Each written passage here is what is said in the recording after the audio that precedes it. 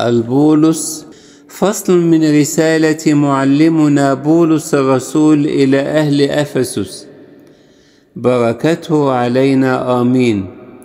سيروا إذا كأولاد النور لأن ثمر النور هو في كل صلاح وبر وحق. مختبرين ما هو مردي عند الرب. ولا تشترك في أعمال الظلمة غير المثمرة بل بالحري وبخوها لأن الأمور التي يفعلونها سرا. ذكرها أيضا من العار.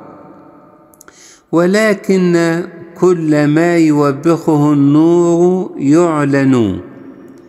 لأن كل ما أظهر فهو نور ومن أجل هذا يقول قم أيها النائم وقم واقفا من بين الأموات فيضيء لك المسيح.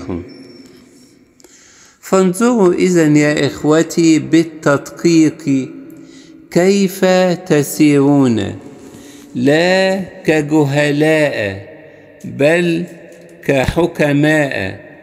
مفتدين الوقت لأن الأيام شريرة.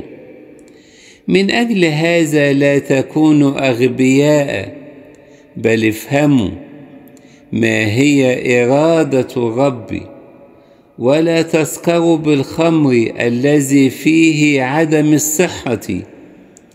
بل كونوا كاملين بالروح مكلمين أنفسكم بعضكم بعضا بمزامير وتسابيح وتراتيل روحية مسبحين ومرتلين للرب في قلوبكم شاكرين كل حين على كل شيء في اسم ربنا يسوع المسيح.